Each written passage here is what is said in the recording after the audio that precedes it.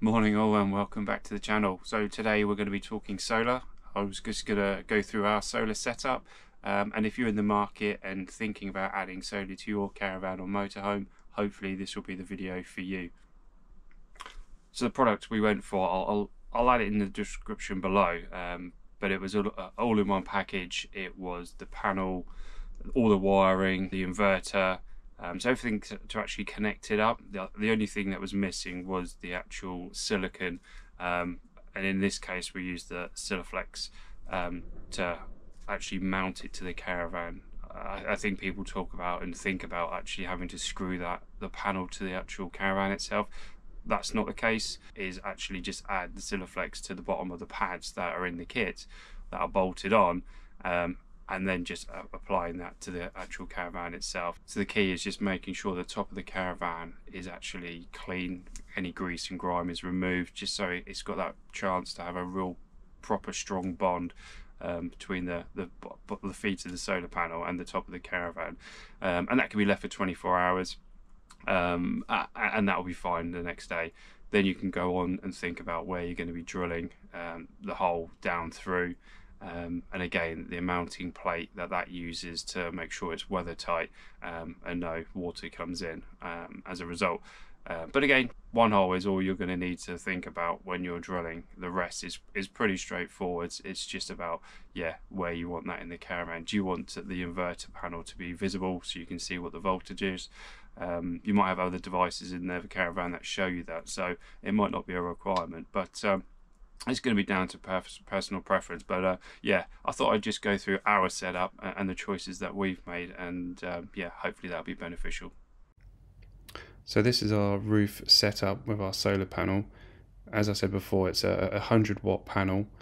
Uh, something to consider here is if you go larger in terms of wattage it normally increases the size of the solar panel itself so if you're limited on space then it's something to consider before making any purchase. You also have uh, clear access here to see how the, the mounting kit works.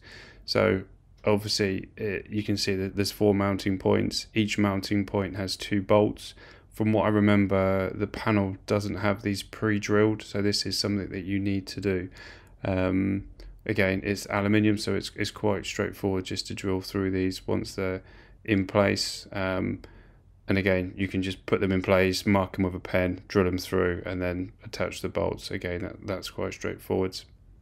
The panel has a male and female connection underneath, so it's quite straightforward to connect the wires up for this. It's uh, like I say, as you can see, it should be a red and black connection, and that'll be the same um, with the the two wires coming off the panel itself. So um, it's just a case of yeah, clicking them into place and make sure they do clicking so they don't come loose. Um, and uh, yeah, you can then start looking to feed that down into the caravan through the junction box.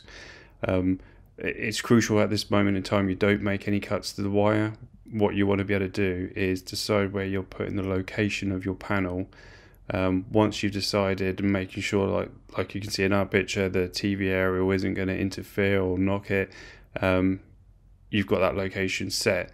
You can then put the Sikaflex on mount that down and get that in loc- into the right location. As I said it's quite thick uh, so it's not like it's going to be moving around all the place but you again you want to make sure you, you've pushed it down and it's spread the the sealant out to where it should be once you've done that, you can then work on the wires, getting them down through the caravan with this junction box. And then once that's happened and, and you're happy with how that looks, again, you can then move on to the sealant for that. And again, push that down into place. You might want to put something on top if you think it's lifting slightly. Um, but again, it will also depend on the, the time of the year in the summer months, I would say just leave it overnight. By the time you come down in the morning, again, it will all be set. In the colder months, then I would say leave it 24 hours just so, again, it's got that extra drying time. Um, but yeah, once it's it has gone, gone hard, yeah, that's 100% secure. You won't have any issues with that. So that should be the top section completed now um, with the wires coming through into the location that you've sort of decided is going to be the best suit for where the, the control is going to be, um, and then we can move into mounting that next. So here's the inverter. I've placed it inside the cupboard, um, wardrobe cupboard.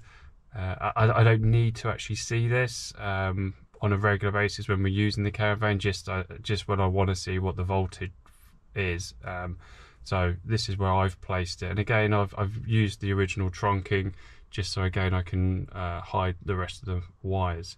Um, this is the point where uh, the wires come through the caravan. Um, yeah, like I say, quite straightforward. It's, it's, just a case of drilling from the top. But again, it's it's just working out where you want those holes to be. Um, you, you don't want them sort of in a visual place uh, in the main point of the caravan. So again, just just have a think about the, the location on the the roof um, and where those wires will come down through. Um, but uh, yeah, you, you want to really have a think about that, just so again, it's it's nothing obvious and, and really looks like a, an aftermarket thought of where you've actually located that. Um, but uh, yeah, it, it is straightforward enough. It's just like I say, just take the time, think about the panel, uh, and uh, yeah, where the wires are going to run through. So as you can see, the, the wires come down through the caravan, they come into the inverter, um, as indicated uh, uh, with the pictures. The first two wires, the red and black, um, and then the next two are obviously to the leisure battery. And again, they come back through, they go down this panel um, and down through uh, and, and under the seating uh, through to the the battery location. And again, it's it's it's not visible other than in this cupboard, um, which again was normally full of clothes, so you don't really see any of this.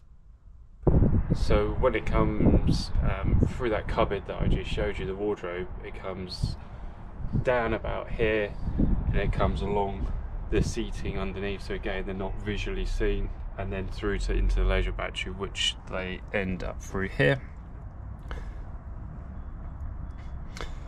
You will well you don't have to but again depending on your location you may have to drill some holes just to get those wires through but again it's straightforward enough it's just uh, a case of uh, a plastic that you're drilling through. So any kind of drill bit will go through there it's just about then connecting that to your leisure battery itself.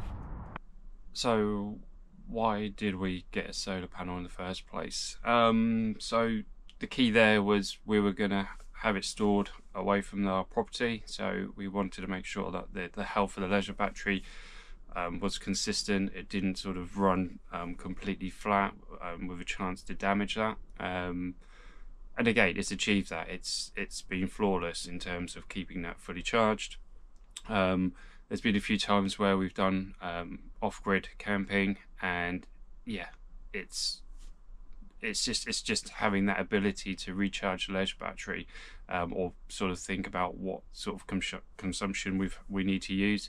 Um, a lot of the bulbs that we've we we had originally with the caravan have been replaced with LEDs. So again, that sort of thought process is is something that you need to think about. Um, again, the, the, the the bathroom lighting's been changed now to LEDs, just so again it has that less draw on the battery overall.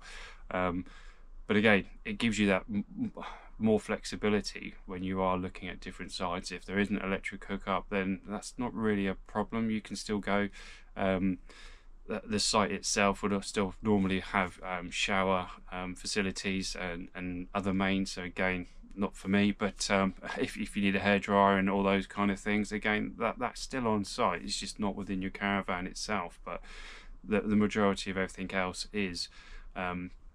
You can still uh, use your fridge, you can still use the cooker, all the lighting. Um, so again, you can still run a TV and, and, and those kind of things, etc. But again, it's just making sure that the devices you are running are 12 volt compatible. Um, if the if there's stuff that uh, you've just taken from, from the house, then again, that's where you may have issues uh, trying to power them. Um, but yeah, definitely something that it was worthwhile for us. So there you have it. Um, that's our solar setup. Hopefully this video has been uh, beneficial to you. If you have any questions, drop them below and I'll come back to you. But um, yeah, like I say, it, it should just be uh, quite straightforward for you to complete this task. Like I say, it's all in the preparation. But um, yeah, have a look. Um, yeah, and if you need any information, then uh, just drop me a line. Cheers all and I'll speak to you soon.